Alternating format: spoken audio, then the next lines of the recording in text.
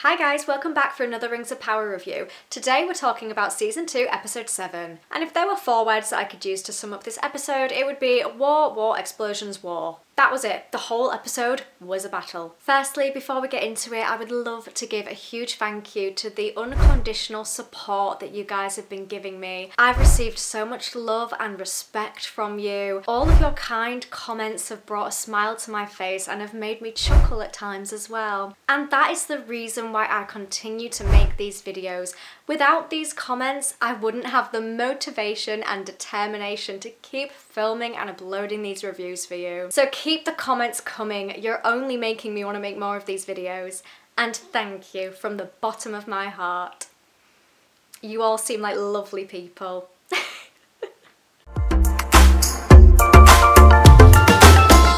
so episode 7 is the penultimate... Nope. episode 7 is the penultimate... Episode 7 is a penultimate... Why can I not say that word? So episode 7 is the penultimate episode of season 2, which means that next week is the final. A lot of you will be very glad to hear that it's the final. So the episode starts off with a very sexy shot of Celebrimbor forging the final ring. He thinks that he is using mithril, but we all know that that's not just mithril. Sauron has definitely tainted it somehow. And now we have nine rings. Ooh. This is what the whole of the season has been building up to, rather slowly, might I add. The forging of the nine rings, and guess what? They have been forged. There's also a shot of a cute little mouse who has immediately become my favourite character. Let's be honest, they have more likability than any of the characters in this show. Jokes aside, this mouse is actually influential because that is one of the main reasons why Celebrimbor realises that he is in an illusion and he is not in reality. This smart cookie realises that the mouse is working on a clockwork pattern and then he also marks a candle to discover that the candle is not burning down. These things are like a glitch in the matrix. Celebrimbor is literally living in the Truman Show right now. Imagine that, living in a world that is fake. What if that is the reality? Where's the proof that it's not? Deep thoughts. I need to address something because we all know on this channel that I am a dummy. I am not the sharpest tool in the toolbox. How did I not realise that the actors who play Halbrand and Annatar are the same guy? I have spent this entire season thinking that they were played by two completely different actors and I said in my previous review that I missed the guy who played Halbrand. Well guess what? The guy who played Halbrand is the guy who plays Annatar. Did anybody else not realise that or is that just me? And if it wasn't for some of you who informed me that it was the same actor, I still don't think I would have realised. I just don't get how much of a difference a hairstyle can make. It's literally just the hair. There's nothing else about him. He has the same face. I can't believe how different a person can look if they've got different hair. Because to me, I was looking at side-by-side -side pictures and they still don't look like the same person to me, but they are. So thank you to those of you who told me that it is the same actor, which I believe his name is Charlie Vickers. I never would have known. As you can tell, my IQ is off the scale and not on the good end. So at this point in the episode, Celebrimbor is still blissfully unaware that the world is in ruin and chaos on his doorstep and he's just living in this happy chappy little bubble where all he needs to do is smith and forge whilst the world is tumbling down around him. So it was kind of cool that the orcs decided to block the river by throwing their big bouldery things at it because that meant that the majority of the battle actually took place on the riverbed which for some reason I just kind of liked. I thought it was cool. Come at me. In this episode, Elrond and Prince Durin are reunited at last. I don't think they've been together at all in this season and I really liked their little duo in season one. That was one of my favourite plot lines. So the fact that they were back together briefly in this episode was nice. And they did agree to team up for the battle. That would have been a great plan if Durin had stuck to his side of the bargain. We'll talk about that a little bit later on, but Durin's in my bad books. I was vibing at the orc music. That guy who's on the drums top notch. And when the orcs march into the battle, that was a pretty cool scene as well. Now, I do have a bit of an issue with this battle. I felt like this episode had potential to be the best in the season so far. The reason why I've got a little bit of an issue with it is because I just felt like the battle was very uneven. There seems to be thousands of orcs and then like a few of the elf army. Where are the rest of the elves? Why is barely anybody defending the place? There's like no one around. Like when there's a shot of all the orcs marching in the battleground and then you move on to a shot of the elven archers, there's like no one there. Now we do hear from somebody later on in this episode who says that the orc army have 10 times as many people as the elves do.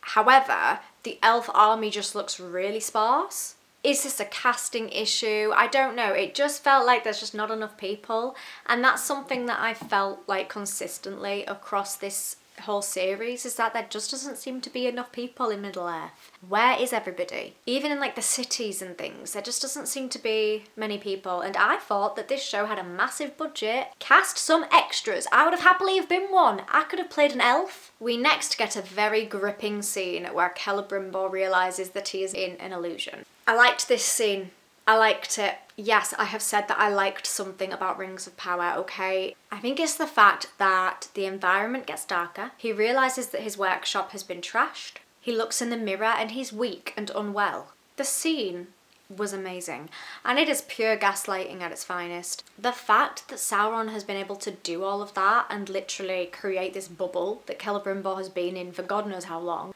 and then the moment that he realises it was all fake and when he throws the hammer through the window and all he can hear is the sounds of war. That actor is good.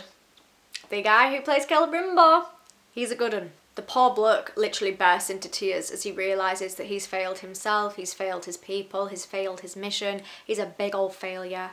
I do know the feeling.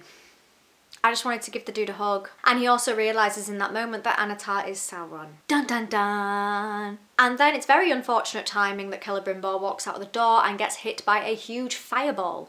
Everybody thinks that Celebrimbor is crazy when he tries to tell them about Sauron. And then he somehow pushes his apprentice off a wall and she dies. I mean, it was definitely Sauron's influence that did that. But the poor lass dies.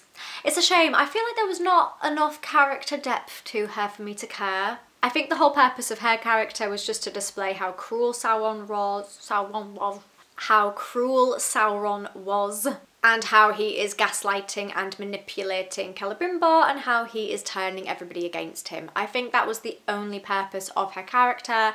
Now that we've got that message and we understand what Sauron's plan is, she can die. There's no point to her anymore. Boom, off you go. Elrond is leading the charge of the elf army. He sees Galadriel over on the orc side and somehow manages to stop every single elf in the middle of charging at the orcs. You're telling me not a single elf stepped over that line to kill an orc? Not a single one? They would all just stop face to face with the orc army. I definitely feel like they've tried to over justify how the orcs are comfortable fighting in the sunlight because they've tried to use the explanation that the mist is covering up the sun and it's creating a lot of shade and it's dark.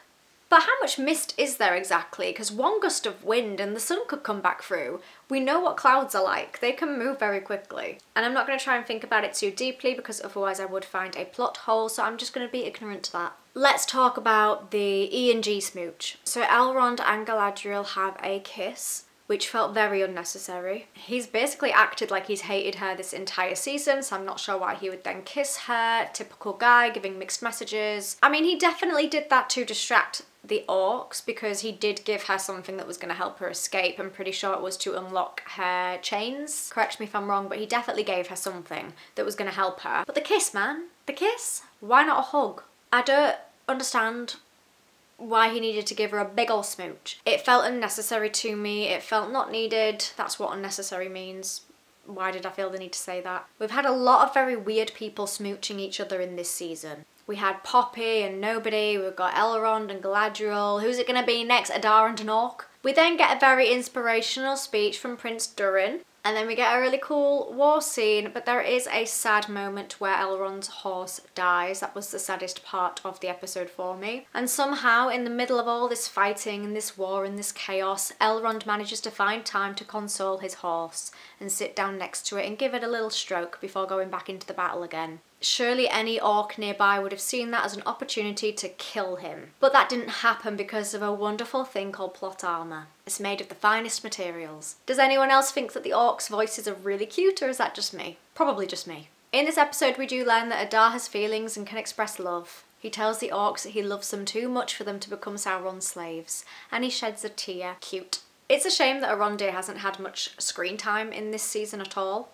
But at least he was important in this episode because he saved Galadriel from being killed. She was none the wiser to the fact that some orcs were creeping up on her and Arondir fires a couple of arrows, boom, boom, and she's saved. Now, I did have a bad sense when I saw Arondir. I was thinking, why is he back in this again? He hasn't been in this season for a few episodes. I got a bad sense of foreboding coming on. Where is his plot leading him? Not very far, we later to find out. We get an emotional scene between Sauron and Celebrimbor. Sauron mentions that he has different motives and approaches to Morgoth, saying something along the lines of, what Morgoth means to destroy, I mean to perfect. And Celebrimbor tries to destroy the Nine Rings by throwing them into the fire. They ain't affected by that. And then Celebrimbor takes a whole lot of pain like a champ. He cuts his finger off. You gotta do what you gotta do. Celebrimbor has been blasted by fireballs and fallen over too many times in this episode. It happens again. Just unfortunate timing. Let's be honest, the poor bloke has been absolutely traumatised at this point. He does speak to Galadriel again though, she tries to stop the rest of the squad from harassing him. In this moment, I just wanted to shake him, like why are you not telling Galadriel who Annatar truly is? Like she would get it, she'd understand.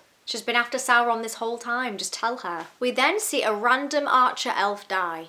We have no connection to this person and therefore I felt no emotion, but we had a pretty lengthy scene of them dying anyway. Because why not? Guess who's back? Back again, the big old troll, tell your friend. It's Damrod! He comes marching through the trees. He's stepping on people, he's crushing people, he's throwing people around. Meanwhile, has Celebrimbor sought any medical attention for his missing finger? That's gotta hurt. Does anyone else think that Damrod the Hill Giant died too quickly? It seemed like it took no time at all for him to die, and let's be honest, he's big, he's OP, he is strong. It just felt like he died really quickly. And I actually had a connection to him. When I first saw him all those episodes ago, I just felt something for him. I just didn't want him to die. Oh my god, when Elrond looks at the hill and exclaims, the dwarves are coming! And then the dwarves don't come. You can't make this stuff up. Has Durin stood them up? So like I said, some of the characters have a lot of plot armor and we know that because we do see them in Lord of the Rings and therefore we know they're not going to die. Do you know who doesn't have plot armor though? Arondir. And I called that something was going to happen to him, which it does. If he ends up dying, which I'm pretty sure he will do, and he should do because did you see where he got stabbed? If he ends up dying, I will officially launch a complaint because I really liked that character and I feel like all the characters I like are dying. Arondir, Damrod, the horse, and then the episode ends with Adar gaining Galadriel's ring. Ooh. And then on the end credits, we get some random screamer orc music. Again, vibing, but I just don't quite understand. And that is the episode in a nutshell. I hope you enjoyed my really insightful review that gave you a lot of information around the lore and was a very serious review of Lord of the Rings, The Rings of Power. There is only one episode left. So you'll be glad to hear that there is only one more review from me on Rings of Power and then I never want to talk about this show again. But I'm going to say it again, I've enjoyed it. I am who I am. I like what I like. As always, I do actually want to hear your opinions on the show. They will be different to mine, I can guarantee. But if they're not, please let me know so I don't feel so alone. Please make sure to leave me a comment letting me know what you thought of this episode. And thank you very much for watching this video. I do appreciate it. If you enjoyed it, make sure to give it a thumbs up to let me know. If you like my content and you want to see more from me, then please subscribe because it's free and it means that you can see my videos easier. I will see you next week for the next episode of Rings of Power and I will also be uploading a midweek video about something else entirely, so stay tuned for that. I'll see you next time, or rather you'll see me, and I hope that you have a wonderful rest of your day. Bye for now.